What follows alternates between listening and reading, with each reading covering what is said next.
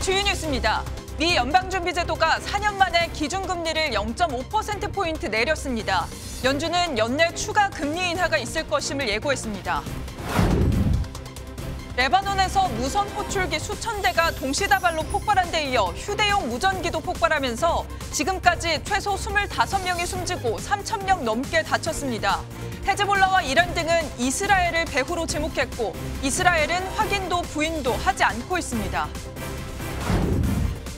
야당은 오늘 본회의에서 최혜병 김건희 여사 특검법과 전국민 25만 원 지원법 등을 처리할 계획입니다. 국민의힘은 무제한 토론, 필리버스터나 본회의 불참 등을 검토하고 있습니다. 정부가 이번 추석 연휴 기간 우려했던 응급실 대란은 없었다고 평가했습니다. 이번 연휴 응급실을 방문한 경증 환자가 예년보다 30%가량 줄어든 영향으로 분석했습니다. 전국 대부분 지역에 폭염특보가 발효된 가운데 오늘도 서울의 낮 최고 기온이 33도를 기록하는 등 무더위가 이어지겠습니다. 이번 폭염은 내일부터 전국에 비가 내리면서 한풀 꺾일 전망입니다. 시청자 여러분 안녕하십니까? 미국 연방준비제도가 4년 반 만에 기준금리를 0.5%포인트 전격 인하했습니다. 비컷이라고 불리는 미국의 이번 금리 인하가 전 세계 경제에 어떤 영향을 미칠지 관심이 쏠리고 있습니다. 워싱턴에서 강영구 특파원입니다. 코로나19 이후 지속됐던 연준의 긴축 기조가 변곡점을 맞았습니다. 4년 반 만에 처음으로 기준금리를 0.5%포인트 인하했습니다. 제롬 파월 연준 의장은 그동안 미국 경제를 괴롭혔던 인플레이션이 2% 목표에 가까워졌다며 자신감을 보였습니다. Our economy is strong overall and has made significant progress toward our goals over the past two years. 이번 금리 인하 결정으로 연준은 미국 경제 성장과 고용 안정성 유지 쪽으로 무게 중심을 옮겼습니다. 또 올해 말까지 금리가 추가로 0.5%포인트 더 인하될 가능성을 시사하며 금리 인하 기조가 계속될 것임을 예고했습니다. 금리 인하가 주식시장과 같은 자산시장에 미칠 영향도 관심입니다. 이번 금리 인하로 경제 부양 효과를 기대할 수 있지만 파월 의장은 연준의 증권 보유량을 계속 줄이겠다는 유동성 축소도 언급해 완전한 돈풀기로 보기는 어렵다는 평가입니다. We also decided to continue to reduce our securities holdings. I will have more to say about monetary policy after briefly reviewing economic developments. 이를 반영하듯 미국 뉴욕 증시는 이날 하락 마감했습니다. 이번 연준의 결정에 앞서 트럼프 전 대통령은 정치적으로 민감한 시기에 금리 인하 결정을 반대한다고 밝혀 향후 정치적 논란도 예고하고 있습니다. 워싱턴에서 MBN 뉴스 강영구입니다. 미국 연준의 이번 금리 인하로 우리나라와 미국의 금리 격차는 1.5%포인트로 줄었습니다. 지난해 2월 이후 가장 오랫동안 금리를 동결 중인 우리 한국은행의 행보에도 관심이 쏠리고 있습니다. 이어서 박통일 기자입니다. 한국은행은 지난달 금융통화위원회에서 기준금리를 연 3.5% 수준으로 유지했습니다. 13차례 연속 동결이자 지난해 2월 이후 19개월 동안 유지된 역대 최장 기록입니다. 다만 3개월 내 금리 인하 가능성을 열어둬야 한다는 금통위원은 4명으로 한 달 전보다 2명이 늘어 금리 인하가 임박했음을 시사했습니다. 이미 시장에선 금리 인하 시기를 놓쳤다는 지적도 나옵니다. 앞서 한국개발연구원 KDI는 지난 9일 발표한 경제동향 9월호에서 10개월째 내수 부진 판단을 내리며 고금리를 원인으로 지목했습니다. 소비자 물가 상승률 역시 한은의 목표치인 2%대로 내려와 있는 상황입니다. 당장 다음 달과 11월 올해 두 차례 남은 금융통화위원회에서 한은은 금리 인하를 단행할 것으로 보입니다. 관건은 가계부채 증가세와 부동산 가격 상승입니다.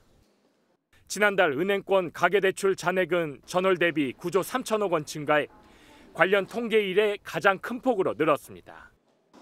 서울 아파트 매매 가격 역시 이번 달 둘째 주 0.23% 오르며 25주 연속 상승 추세입니다. 한국은행이 과도한 유동성을 공급해서 이 부동산 가격 상승의 심리를 부추기는 그런 정도로 우리가 통화 정책을 운영하지 않겠다는 것을 명확하게 하고 계십니다. 미국의 금리 인하로 전 세계가 통화 정책 전환에 들어간 가운데 금리 인하 폭과 시기를 놓고 한은의 고민도 깊어지고 있습니다. MBN 뉴스 박통일입니다. 레바논 전역에서 무장단체 헤즈볼라 대원들이 사용하는 무선 호출기, 이른바 삐삐 수천 대가 폭발하면서 대량의 인명피해를 낸 가운데 무전기 폭발까지 이어지고 있습니다. 이틀 동안 이 통신 장비 폭발로 최소 25명이 목숨을 잃었는데요.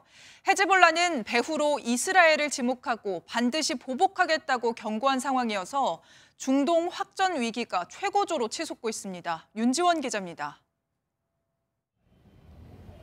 레바논 남부 도시 휴대전화 매장에서 연기가 피어오르고 주변은 아수라장이 됐습니다. 무선 호출기 대량 폭발로 최소 12명이 사망한 지 하루 만에 추가 폭발이 일어났습니다. 레바논 수도 베이루트의 한 대학병원 주차장에서는 폭발물로 보이는 무전기가 발견됐고 전날 숨진 헤즈볼라 대원의 장례식에서도 무전기가 폭발했습니다. 이틀 동안 통신 장비 폭발로 최소 25명이 사망하고 부상자는 3천 명을 넘어섰습니다. 헤즈볼라는 배후로 이스라엘을 지목하고 보복을 공언했습니다. هذا العدوان حتما له عقابه الخاص وله قصاصه الخاص 헤즈볼라는 휴대전화가 이스라엘의 공격에 활용될 수 있다는 이유로 최근 무선 호출기를 도입했는데 유통 과정에서 폭발물이 삽입된 것으로 보입니다. 확전 위기가 최고조로 치솟으며 국제사회는 경고에 나섰습니다. that there is a serious risk of a dramatic escalation in Lebanon, and everything must be done to avoid that escalation. 네타냐후 이스라엘 총리는 폭발 사고에 대해 확인도 부인도 하지 않은 채 레바논 접경 지역의 주민들을 안전하게 귀환시키겠다고 거듭 밝혔습니다.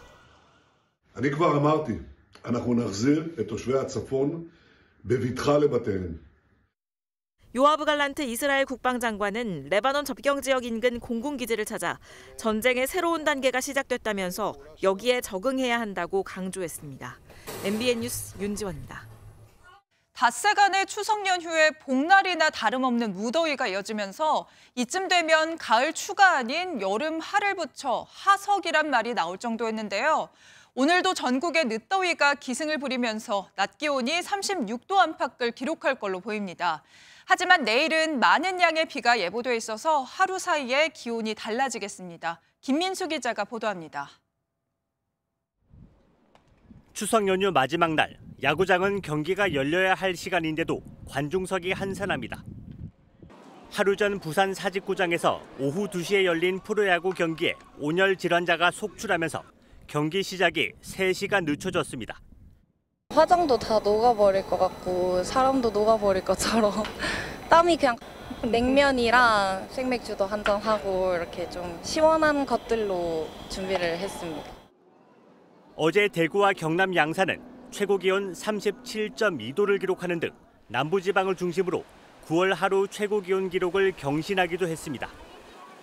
오늘도 전국 낮 최고 기온이 36도 안팎으로 오르며 폭염이 이어집니다. 최고 체감 온도 역시 35도 이상을 기록하는 곳이 많아 전국 대부분 지역에 폭염특보가 발령될 전망입니다. 다만 이번 늦더위는 내일부터 이틀간 전국에 비가 내리면서 한풀 꺾입니다. 기압골이 통과하면서 전국적으로 비가 내리고 기압골 후면 북쪽에서 찬 공기가 남하하면서 더위는 완화되겠습니다. 비는 80mm 안팎으로 양이 많겠고 기온은 5도에서 6도 가까이 떨어져 폭염특보는 대부분 해제될 것으로 보입니다. 엠벤 뉴스 김민수입니다. 오늘 하루 중요한 일정을 소개해드리는 굿모닝 오늘입니다. 어떤 일정이 있는지 함께 살펴보겠습니다. 심우정 신임 검찰총장이 오늘 취임식을 열고 2년 임기를 시작합니다. 김건희 여사의 명품 가방 수수 의혹 사건과 문재인 전 대통령 전 사위의 타이 이스타제 특혜 채용 의혹 수사 등이 시험대가 될 전망입니다. 서울중앙지검이 오늘 류광진 티몬 대표와 유화현 위메프 대표를 피해자 신분으로 소환해 조사합니다. 검찰은 이들이 판매 대금 정산이 어렵다는 점을 인지한 시점과 티몬과 위메프가 속한 큐텐의 구영배 대표가 자금 관리에 개입했는지 등을 집중적으로 캐물을 방침입니다. 정부가 오늘 오전 최상목 경제부총리 주재로 거시경제 금융회의를 개최합니다. 오늘 회의에선 미 연방준비제도가 4년 만에 기준금리를 0.5%포인트 인하한 것에 대한 대응 방안이 논의될 전망입니다. 지금까지 굿모닝 오늘이었습니다. 정치권 소식입니다. 오늘 국회에선 본회의가 예정돼 있습니다. 민주당을 중심으로 한 야당은 최혜병 특검법과 김건희 여사 특검법, 이른바 쌍특검법을 처리하겠다고 예고했는데 국민의힘이 강하게 반발하고 있어 추석 연휴가 끝나자마자 여야의 극한 대치가 시작될 것 같습니다. 김세희 기자입니다. 더불어민주당 등 야당은 오늘 이른바 쌍특검법안과 지역화폐법 등 모두 3건의 법안을 처리할 계획입니다. 앞서 민주당은 추석 전인 지난 12일 해당 법안들을 처리하려고 했지만 우원식 국회의장이 의정 갈등을 먼저 해결해야 한다며 오늘 본회의 개의를 제안해 열리게 된 겁니다. 견고한 정권 교체 민심을 바탕으로 연휴 직후부터 지역 화폐법, 최혜병 특검법, 김건희 특검법 등을 처리하고 극단주의를 분쇄하고 국민의힘은 여야가 합의한 본회의 날짜인 26일을 야당이 지키지 않았다고 반발하며 야당의 공세가 도를 넘었다고 비판했습니다. 본회의를 인정하지 않고 있기 때문에 어, 모든 행보를 어, 정쟁적 그 소재로 악용하고 있는 행태는 문제가 있다. 국민의힘은 의석수로 본회의 개의를 저지하기 어려운 만큼 무제한 토론 필리버스터와 본회의 불참 등 대응 방안을 검토하고 있습니다. 우원식 국회의장은 본회의 전 여야 원내대표들과 만나 본회의 안건 등을 최종 결정할 방침입니다. 여기에 오는 26일 본회의에서 대통령 거부권으로 국회로 돌아온 6개 법안 재표결도 이루어질 걸로 보여 여야 대치 전국은 더욱 심화할 거란 전망이 나옵니다. MBN 뉴스 김세입니다. 올해 추석 민심을 바라보는 여야의 진단은 엇갈렸습니다.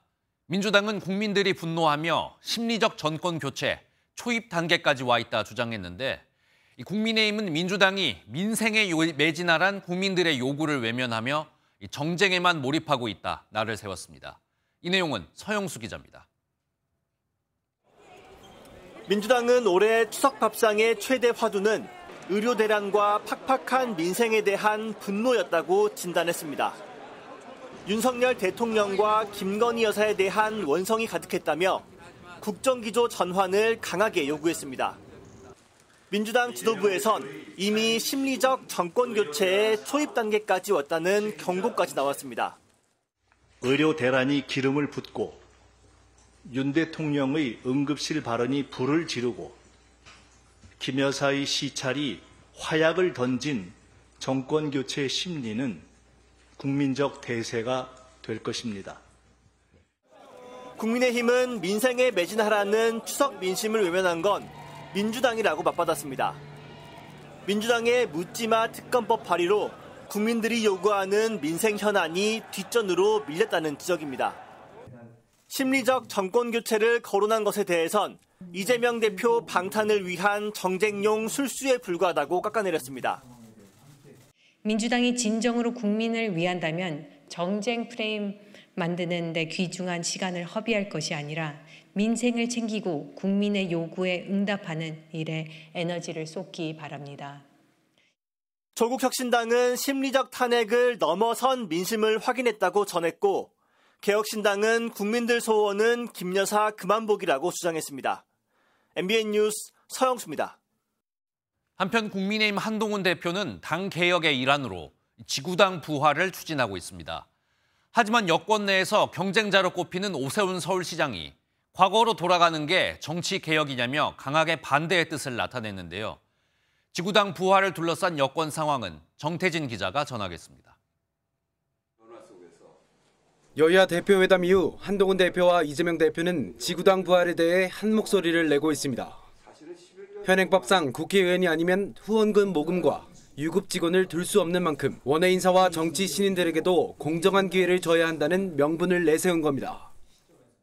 지역단의 부활이 우리 정치의 새로운 장을 열고 어, 정치 신인과 뿔뿌리 민주주의를 강화할 수 있는 방안이라는 점. 우리 한동훈 대표께서도 공개적으로 약속하셨던 지구당 부활 문제만이라도 우선적으로 좀 처리했으면 좋겠습니다.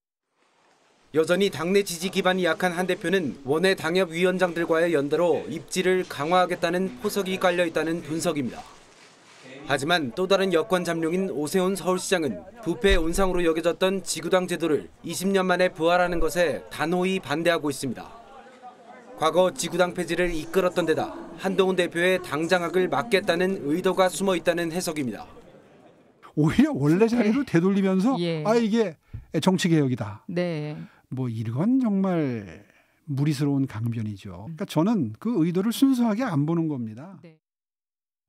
기득권을 쥐고 있는 현역 의원들이 적극적으로 나설지도 미지수입니다. 현역 의원들은 반발이 심할 거예요. 당 대표나 중진 의원들이 나서서 그 필요성에 대해서 설파하고 특히 돈 문제에 대해서 가장 엄격한 잣대와 추석 민심을 들은 한동훈 대표와 여권 잠룡들이 저마다 자신에게 유리한 정치 구도를 만들기 위한 본격적인 기싸움에 들어갔습니다. 엠벤 뉴스 정태진입니다. 성범죄 신고 수사를 진행하면서 무고한 20대 남성 용의자를 성범죄자로 몰아 부적절한 강압 수사로 논란을 일으킨 화성 동탄 경찰서가 과거에도 7건의 미흡한 수사를 벌였던 걸로 조사됐습니다.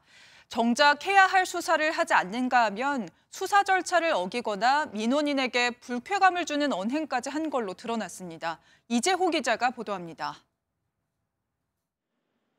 지난 6월 경기 화성 동탄경찰서는 성범죄 혐의로 20대 남성을 입건했습니다. 피해를 봤다는 여성의 진술에 의존해 해당 남성을 가해자처럼 대하기도 했습니다. 어쨌든 해, 그날 헬스 간 거 맞지 않냐고. 그러면서 반쯤 저를 범죄자 취급하듯이 말, 말을 하더라고요.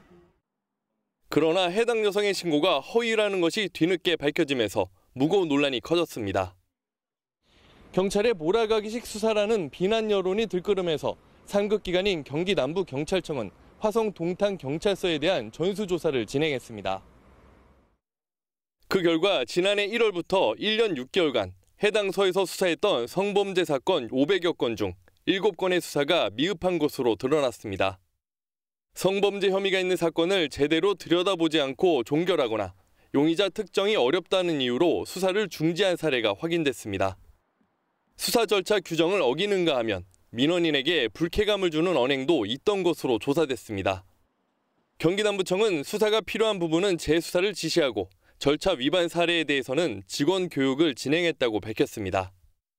그러면서 논란이 됐던 수사팀에 대해선 팀 전체를 인사 조치하고 감찰을 진행하고 있다고 덧붙였습니다. MBN 뉴스 이재호입니다. 추석 연휴 기간 동안 응급실 대란이 발생하면 어쩌나 걱정 많이 하셨을 텐데요. 다행히 그런 일은 없었습니다. 정부는 경증 환자가 크게 줄어들었기 때문이란 분석을 내놨는데요. 하지만 응급실 곳곳에서 여전히 응급실 뺑뺑이 혼란도 목격됐습니다. 연휴 마지막 날 어린이 병원을 방문한 윤석열 대통령은 의료개혁으로 소아과 같은 필수 의료를 전폭 지원하겠다고 밝혔습니다. 보도에 이상엽 기자입니다. 환자가 없는 텅 빈 구급차들이 응급실 앞에서 대기하고 있습니다. 평소라면 밀려드는 환자와 구급차로 바쁜 시간대지만 환자는 보이지 않고 오히려 한산합니다. 30분 동안 응급실 앞에서 기다려봤지만 들어오는 구급차는 단 한대 불과했습니다. 의사가 부족해 환자를 제대로 받을 수 없던 겁니다. 일단 혈액 검사 응급실 통해서 하라 가까운 데 가보라고 해서 온, 거, 온 건데도 네, 어떤 의사분이 오셔가지고 도저히 안 되겠다고 다른 병원으로 가보시라고 해서 거긴 아마 여력이 있을 거니까 간신히 응급실만 연 병원이 부지기수였지만 정부는 추석 연휴 응급 대란은 일어나지 않았다고 발표했습니다. 연휴 동안 응급실을 방문한 경증 환자가 지난 연휴에 비해 30%가량 줄어든 덕에 중증 환자 위주로 운영될 수 있던 겁니다.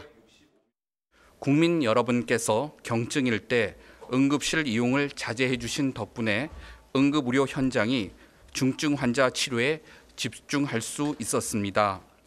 어린이 병원을 방문한 윤석열 대통령은 응급실 대란이 발생하지 않은 것에 대해 의료진과 구급대원들에게 감사를 전했습니다.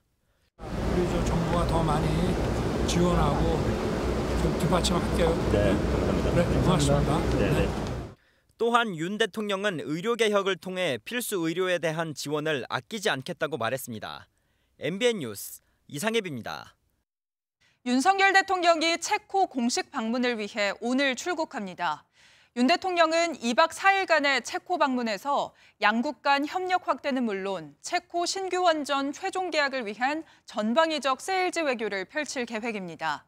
윤 대통령은 페트르 파벨 대통령과 정상회담을 진행하는 등 연쇄 회담을 통해 원전 기술 강국으로서 우리나라의 강점을 설명할 방침입니다.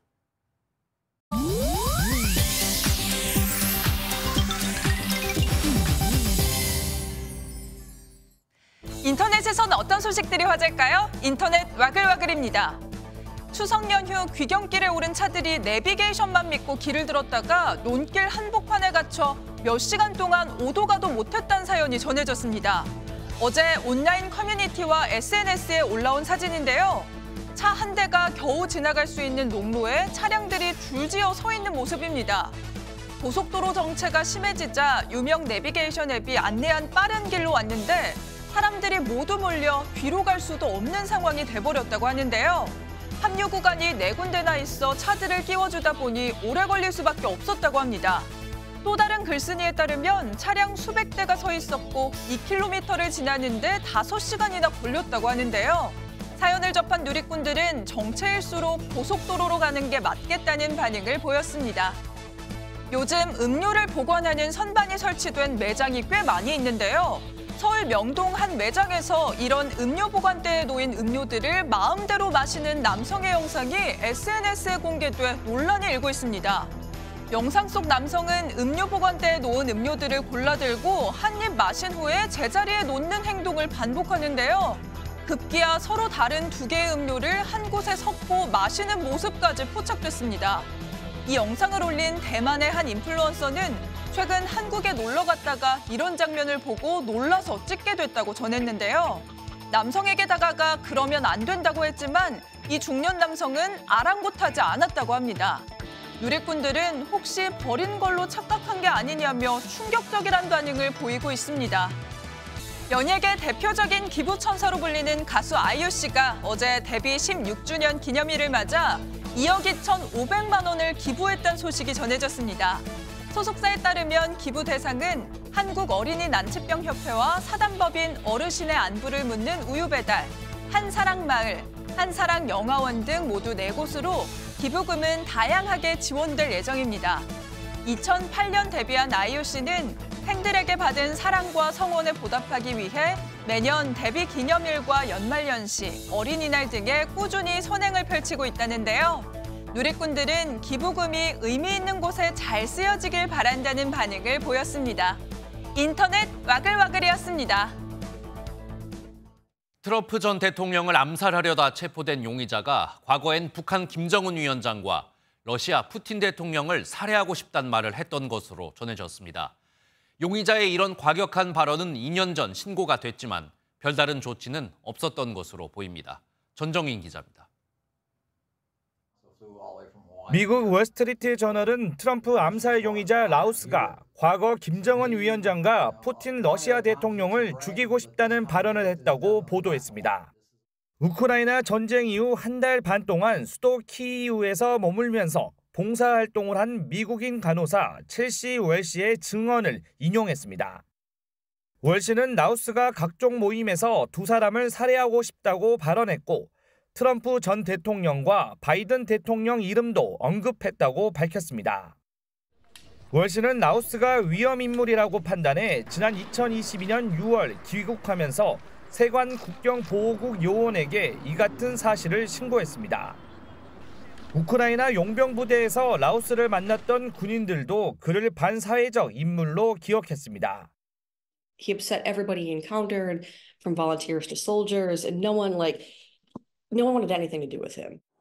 월시는 지난해 라오스가 시리아 난민을 우크라이나 용병으로 불러오는 계획을 추진한다는 소문을 들은 뒤 다시 한번 신고했지만 당국의 조치는 없었다고 주장했습니다. MBN 뉴스 전정인입니다. 중국에선 일본인을 향한 흉기 습격이 또 일어났습니다. 일본의 한 초등학생을 노린 범행이었는데요. 최근 중국에서 일본인을 향한 범죄가 계속되자 일본 정부는 중국에 재발 당지를 당부했습니다. 보도에 연장현 기자입니다. 세계적인 하이테크 기업들이 몰려있는 중국 광둥성 선전시입니다. 어제 오전 이곳에서 일본인 초등학생 한 명이 중국인 괴한으로부터 흉기 습격을 당했습니다. 日本人学校の生徒1名が、 えー男性に襲われ負傷し病院で治療を受けていると確認をしております 중국인 용의자는 일본인 학교로 등교하던 남학생을 흉기로 공격한 뒤 현재 중국 공안 당국에 붙잡혀 조사를 받고 있는 것으로 알려졌습니다. 최근 일본인이 중국 내에서 공격을 당하는 일이 계속되고 있습니다. 지난 6월 장수성 수저우시에서 중국인 남성이 일본인 여성과 아들인 미취아 가동을 상대로 흉기를 휘둘렀습니다. 이를 막으려던 중국인 통학버스 여성 안내원이 치료를 받다 끝내 숨졌습니다. 지난 7일에도 중국 유명 관광지인 원명원에서 일본인 관광객이 중국인들에게 쫓겨나는 봉변을 당하기도 했습니다. 일본 정부는 중국 측에 재발 방지를 당부하는 한편 정확한 사실관계 확인을 요청했다고 밝혔습니다. MBN 뉴스 연장현입니다. 폭풍과 태풍으로 전 세계가 물바다로 변하고 있습니다. 유럽 중동부 지역엔 폭풍으로 인한 폭우가 쏟아지고 있고 이 태풍으로 초토화된 동남아에선 큰 인명 피해가 발생했습니다. 현지호 기자입니다. 저기압 폭풍 보리스가 휩쓸고 간 헝가리의 한 마을입니다. 주택들은 상층과 지붕만 간신히 드러냈고 도로는 흙탕물에 잠겨 아예 볼 수가 없습니다. 쪽배를 타고 수색, 구조 작업도 이어집니다. I think it's uh, kind of connected to the to the climatic change because uh, it's a sudden flood. Uh, it was raining for four days in the area, uh, especially uh, around Vienna in Austria. 폭풍 보리스는 지난 11일 루마니아를 시작으로 폴란드와 오스트리아, 체코 등 유럽 중동부를 강타했습니다. 이들 지역에는 한 달치 내릴 비가 단 일주일 사이 쏟아졌습니다. 홍수 피해로 지금껏 확인된 사망자는 21명에 이릅니다. 유럽 중동부뿐 아니라 전 세계에서 태풍, 폭풍으로 인한 피해가 이어지고 있습니다. 11호 태풍 야기가 강타한 동남아시아 국가들은 그야말로 초토화가 됐습니다. 직격탄을 맞은 미얀마에서는 태풍이 지나간 이후에도 복구는커녕 대피와 구조 작업만 계속되고 있을 정도입니다. 태풍 야기로 미얀마와 베트남, 태국 등 동남아 국가에서 500명 이상이 숨진 것으로 확인됐습니다. 13호 태풍 버빙카도 강한 비바람을 몰고 지난 16일 중국 상하이에 상륙했습니다. 아직 정확한 피해가 집계되지도 않은 가운데 14호 태풍 풀라산까지 중국으로 향할 것으로 예보되면서 중국 전역에는 긴장감이 고조되고 있습니다. MBN 뉴스 현지호입니다. 요즘 몇몇 배달앱은 일정 금액 이상을 주문하면 배달비를 받지 않는 서비스를 제공하고 있는데요. 그런데 이 금액을 맞추기 위해 주문량을 늘리면 매장에서 살 때보다 더 비싸서 오히려 손해를 볼 수 있습니다. 배달 가격과 매장 가격이 다른 이중 가격 때문인데요. 자세한 내용은 신용수 기자가 보도합니다. 배달앱 속 맥도날드 햄버거 주문 화면입니다. 5만 원 이상 주문해야 무료 배달이 가능하다는 안내에 따라 빅맥 세트 6개를 주문했더니 총 비용은 5만 1천 원을 내야 했습니다. 하지만 매장에서 직접 사면 4만 3,200원이면 됩니다. 배달비 3천 원을 아낀 것 같지만 실제로는 매장 주문보다 7,800원을 손해봤습니다. 매장 메뉴의 가격은 세트당 7,200원이지만 배달 메뉴 가격은 8,500원으로 다른 이중 가격 때문입니다. 이중 가격은 일부 커피 업체에서도 확인할 수 있었는데 아이스 아메리카노가 매장보다 배달에서 500원 비쌌습니다. 버거킹도 와퍼 세트의 배달과 매장 간 가격 차가 1,400원에 달했고 KFC도 3월부터 이중 가격을 다시 도입했습니다. 시민들은 이중 가격을 알게 되면 배달 주문하기 망설여진다는 반응입니다. 가격 차이가 나다 보니까 그래서 좀 그 고민을 좀 하게 되고 픽업을 하거나 아니면은 다른 메뉴를 아예 고르는 소비자가 이중 가격 자체를 알아차리기 쉽지 않다는 것도 문제입니다. 한국소비자원은 배달 주문과 매장 구입 가격이 다르다는 걸 주문, 결제 과정에서 고지하지 않으면 소비자의 알 권리와 선택권을 침해하는 것이라고 지적했습니다. 소비자 단체에서도 배달비와 음식값 분리 고지 등 소비자의 오인을 막을 현실적 대책 마련이 필요하다는 목소리가 나오고 있습니다. MBN 뉴스 신용수입니다. 과거 하루에 연탄 200만 장까지 찍어내던 서울의 마지막 연탄 공장이 문을 닫았습니다. 이제 서울에서 연탄을 떼는 가구는 경기도 동두천이나 충청도 등에서 연탄을 구해야 하는데요. 가격이 더 오르진 않을까 걱정입니다. 백길종 기자가 다녀왔습니다. 서울 동대문구 삼천리 연탄 공장입니다. 폐 연탄이 널브러져 있고 포크레인이 윤전기를 끌고 갑니다. 56년의 역사를 지닌 서울의 마지막 연탄 공장이 철거되는 모습입니다. 연탄 수요가 줄면서 적자가 누적되다 보니 결국 문을 닫게 된 겁니다. 아직도 그 저소득층들이 많아가지고 연탄 사용하는 사람들이 상당히 많이 있고 운송 거리가 멀고 또 인건비도 또 올라가고 그러니까 어, 어차피 연탄 가격은 좀 상승될 거를 알고. 서울 서초구 전원마을입니다. 70가구가 연탄을 사용하는데 이렇게 연탄 보일러로 난방을 하는 모습을 쉽게 찾아볼 수 있습니다.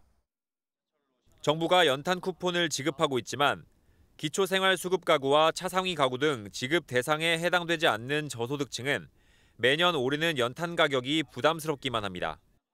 1년에 한 1,200장 정도 떼면 겨울 따뜻하게 날 수 있어요. 연탄은행에서 뭐 그만큼 주실 수는 없지 없을 것 같은 1년에 뭐 한 500장은 사서 쓰는 것 같아요. 실제 지난해 기준 연탄 사용 가구 중 연탄 쿠폰 수혜 가구는 57%에 불과합니다. 도시가스를 깔면 편하겠지만 연탄보다 비싼 가스비가 부담스러운 것은 물론이고 땅 주인의 허락을 얻기도 어렵습니다. 그게 도시가스는 안 되는지 우리는 우리 땅이 아니잖아요. 나 혼자 생각은 해죠. 아유 도시가스가 들어오면 좋겠다. 연탄 가구가 빠르게 줄고 있지만 대안을 찾기 힘든 에너지 빈곤층 지원이 절실해 보입니다. MBN 뉴스 백길종입니다.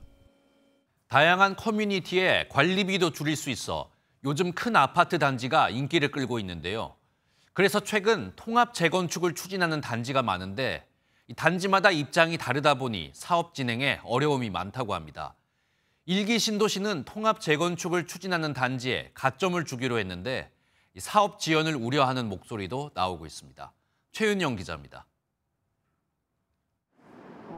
지난 1984년 지어진 서울 강남구의 아파트들입니다. 4개 단지가 모여서 재건축을 하는데 1,400여 가구가 최고 50층 2,300가구로 탈바꿈하는 신속통합 기획안이 지난해 통과됐습니다. 속도를 내나 했지만 지난 7월 정비 계획안 주민 공람이 시작되자 통합 추진위 측과 단지들 간의 갈등이 폭발했습니다. 아파트에는 반대 현수막이 곳곳에 붙었고 단지들 간의 이해관계를 조정하는 과정이 부족했던 건데 결국 통합은 꼬이는 분위기입니다. 땅이 더 넓음에도 불구하고 감청평가에게 너무 터무니없이 그게 고려가, 고려가 되지 않은 거예요. 임대 세대를 다 몰아놨어요. 양쪽이 반대가 좀 심하다 보니까 우리가 뭐 계획된 일정대로 진행하는 게 갈등만 더 일으킬 수 있을 것 같아서 지금 자문단을 파견해서 일기 신도시 재건축 상황도 비슷합니다. 통합을 하면 가산점이 부여돼 여러 단지가 손을 잡았지만 이해관계가 부딪히면서 무산되고 있습니다. 분당 아름마을의 이 세 개 단지는 통합을 추진했지만 역 주변 단지 배치에 갈등이 생겨 갈라섰고 상록마을 두 개 단지도 결국 단독 재건축으로 틀었습니다. 통합에 있어서 협의를 통해서 합의가 이루어져야 되거든요. 소유주의 권리 확보에 대한 부분이 이견이 맞지 않은 거죠. 국토연구원에 따르면 통합 재건축을 하면 공사비를 약 11% 절감할 수 있습니다. 하지만 단지별 이익 분배를 둘러싼 갈등 해결은 쉽지 않아 일기 신도시 재정비 사업의 신속 추진에 변수가 될 전망입니다. MBN 뉴스 최인영입니다.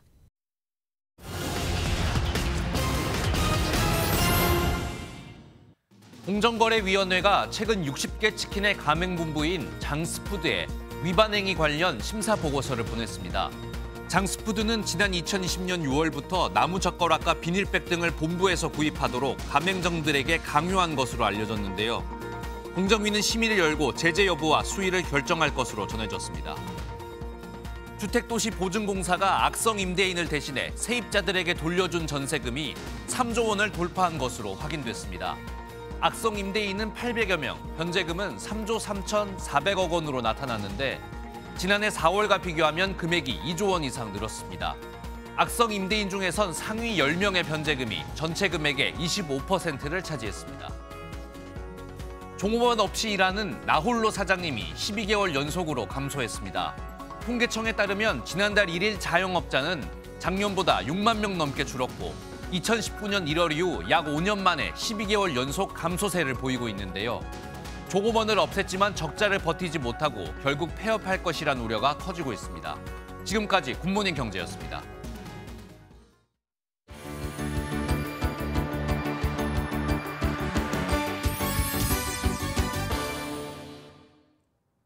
굿모닝 월드입니다. 사람처럼 기다란 팔을 지닌 로봇이 있습니다. 이 로봇만 있으면 야외 작업에 필요한 인력을 대신해서 도움이 될 거라는데요. 어떤 로봇인 건지 일본으로가 만나보겠습니다. 만화 영화에서나 볼 법한 거대한 로봇에게 블록을 넘겨주자 로봇이 이를 받아 조립합니다. 철도 보수를 위해 일본에서 개발된 거대한 인간형 로봇입니다. 로봇은 최대 40kg의 물체를 10m 높이까지 들어올릴 수 있다고 하는데요. VR 헬멧과 리모컨을 통해 제어할 수 있습니다. 본격적으로 현장에 도입되면 작업자의 감전과 추락 위험이 현저히 줄어들 것으로 보이는데요. 철도 보수를 넘어 토목과 도로 건설 등에도 널리 활용됐으면 좋겠네요.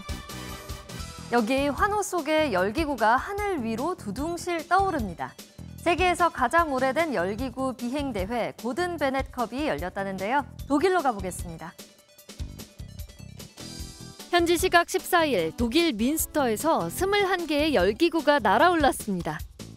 열기구를 출발 지점에서 가장 멀리 보내는 팀이 우승하는 국제대회가 열렸습니다. 올해 우승은 오스트리아 팀이 차지했는데요. 독일에서 이륙해 프랑스를 지나 포르투갈 남부까지 무려 2111.17km를 이동했습니다. 이 열기구 대회는 1906년 파리에서 모험가 제임스 고든 베넷 주니어가 처음으로 개최했다고 하네요. 영국 런던의 트라팔가 광장에선 새로운 예술품이 자리했는데요. 광장에 들어선 현대미술 작품으로는 15번째 작품. 과연 어떤 모습일까요? 화면으로 만나보시죠. 영국 트라팔가 광장에 있는 주추를 감싼 검은 천이 제거되자 석고로 본뜬 얼굴들이 나타납니다. 석고로 트랜스젠더, 비이성애자 등 726명의 얼굴을 본떠 만든 작품인데요. 높이 2.5m, 무게는 3.3톤에 달하는 대형 구조물입니다. 멕시코의 예술가 테레사 마골레스가 제작한 것으로 2015년 멕시코에서 살해된 트랜스젠더이자 자신의 친구인 칼라에게 바치는 헌사라고 작품 설명을 했다네요. 지금까지 굿모닝 월드였습니다. 요즘 전통시장의 분위기가 예전 같지 않다고 합니다. 서울의 한 전통시장에선 수십 년 된 가게들이 사라진 골목마다 20, 30대 젊은 사장님들의 개성 있는 가게들이 앞다퉈 자리 잡고 있다는데요. 점점 더 젊어지고 있는 전통시장을 강서영 기자가 직접 둘러봤습니다. 서울의 한 전통시장. 한눈에 봐도 오래돼 보이는 신발 가게 옆에 화려한 간판의 음식 가게가 눈에 띕니다. 퓨전 일식과 하이볼. 일반적인 전통시장에선 쉽게 볼 수 없는 메뉴를 팝니다. 시장 골목으로도 들어가 보겠습니다. 조금만 들어가 봐도 이렇게 독특한 느낌을 주는 가게들이 모여 있습니다. 가게 사장도 손님도 대부분 이른바 MZ세대입니다. 60년이 넘은 신중앙시장에 이렇게 젊은 상인들이 몰려들기 시작한 건 불과 2년 전부터입니다. 청년몰처럼 정책적으로 청년들을 불러 모은 것도 아닌데 을지로와 신당동이 젊은이들에게 인기를 끌면서 상대적으로 임대료가 낮은 이곳까지 상권이 팽창한 결과입니다. 원래 50년 전통이 있었던 순댓국집 자리였는데 그런 공간에서 좀 새로운 걸 해보면 재밌겠다고 생각했습니다. 오래된 상인들도 새로운 젊은 사장들이 반갑기만 합니다. 더 많은 친구들이 들어오고 메뉴가 들어오면 더 여기가 더 활성화될 거라고 생각하고 있습니다. 5년 전에 비해 이 시장에 입점한 39세 이하 청년 상인은 2배가량 늘었습니다. 이젠 MZ세대 상인 회장도 등장했습니다. 추진력, 젊으니까, 음, 그다음에 이제 대범함 그런 게 있습니다. 점점 이제 상인회장들의 연령이 낮아지는 게 좀 추세라고 볼 수 있습니다. 이른바 힙지로를 탄생시킨 MZ세대의 레트로 열풍이 도심 한가운데 전통시장까지 번져나가고 있습니다. MBN 뉴스 강서영입니다. 난청이 있어도 보청기를 끼기는 꺼려지는 분들 있으시죠? 그럼 대신 안경을 쓰는 건 어떨까요? 또 쓰고 있는 모자로 핸드폰 충전을 할 수도 있다는데요. 유럽 최대 가전 전시회에서 웨어러블 시장을 선점하기 위한 이색적인 제품들이 눈길을 끌었습니다. 정설민 기자가 보도합니다. 한 남성이 가방을 메고 모자를 쓴 채 산에 오릅니다. 배터리가 얼마 안 남은 핸드폰을 충전하는 뒤 다름 아닌 모자에 연결합니다. 모자의 넓은 층으로 태양열을 모은 뒤 전자기기를 충전할 수 있는 제품입니다. 안경도 색다른 변신에 나섰습니다. 평범한 안경처럼 보이지만 사실은 난청 환자를 위한 보청기 기능까지 갖췄습니다. 안경이 주변 소리를 흡수한 뒤 귀 쪽에 있는 스피커로 소리를 증폭시켜 들려줍니다. Basically, it's amplifying only in the direction that you are looking at, and then you have some speaker at the back of the temple that are delivering the sound directly to your ears. 쓰기만 하면 근시와 원시, 노안 등에 맞춰 초점을 자동으로 조정해주는 안경도 있습니다. 모두 유럽 최대의 가전 전시에 이파에서 선보인 웨어러블 기기입니다. 반지를 끼고 자면 수면 무호흡증을 측정해주는 스마트 반지도 세계 최초로 등장했고 목걸이나 브로치로 착용하면 20시간 동안 녹음이 가능하고 AI가 녹음된 내용을 텍스트로 바꿔주는 초소형 녹음기도 선보였습니다.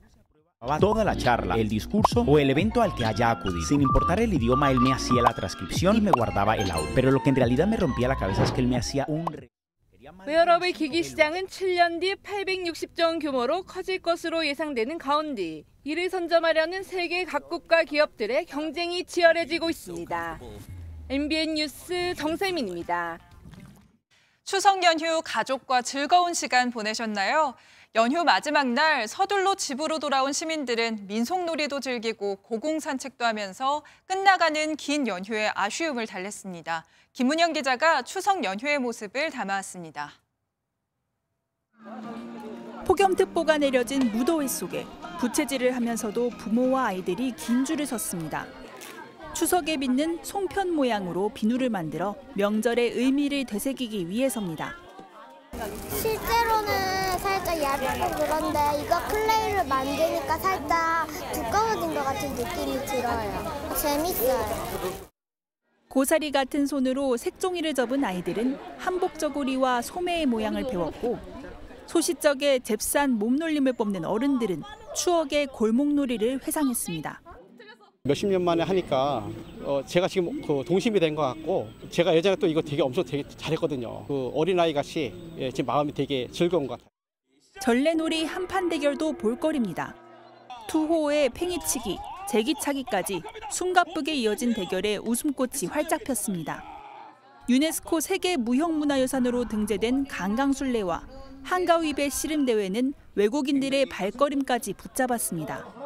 민족 대명절을 맞아 무료로 개방한 궁엔 왕실 문화를 즐기려는 관람객들이 몰렸습니다. 일제강점기에 훼손된 왕세자의 집무 공간인 경복궁 개조당도 지난해에 복원을 마쳐 연휴 기간 내내 관람객을 맞이했습니다. 전통 문화 체험에 가족 나들이까지 마음만큼은 한가위에 걸맞게 더욱 풍성해진 모습이었습니다. MBN 뉴스 김문영입니다. 연휴 잘 보내셨나요? 다시 일상으로 돌아온 오늘도 늦더위가 이어지겠습니다. 전국 많은 지역에 폭염 경보가 발효 중인 가운데 서울의 낮 기온 33도, 청주와 양산은 36도까지 치솟겠습니다. 오늘도 갑작스러운 소나기에 대비해 우산 챙겨 나오셔야겠습니다. 오전부터 저녁 사이 전국 곳곳에 최고 60mm의 소나기가 지나겠습니다. 또 제주도는 아침부터, 전남 해안은 오후부터 비가 시작되겠고 내일은 전국적으로 많은 비가 내리겠습니다. 모레까지 제주 산지에 최고 250mm 이상, 중부지방과 남해안에도 최고 120에서 150mm 이상의 폭우가 예상되고요. 비와 함께 찬 공기가 내려와 주말부터는 평년 이맘때 가을 날씨를 되찾겠습니다. 오늘 전국이 대체로 흐리겠고 제주 산지에는 강풍특보가 내려진 가운데 내일까지 바람이 무척 강하게 불겠습니다. 지역별 현재 기온 보겠습니다. 서울 25.7도, 부산은 27.4도 등 도심과 해안가 곳곳에서는 열대야가 나타나고 있습니다. 낮 기온은 서울 33도, 대전과 전주, 대구는 35도까지 오르면서 어제만큼 덥겠습니다. 내일은 서울의 낮 기온이 30도를 밑돌겠고 모레부터는 아침 기온이 20도 아래로 내려가겠습니다. 내셨습니다. 목요일 아침 굿모닝 MBN 마치겠습니다. 저희는 내일 아침에 찾아뵙겠습니다. 오늘도 좋은 하루 보내세요. 고맙습니다.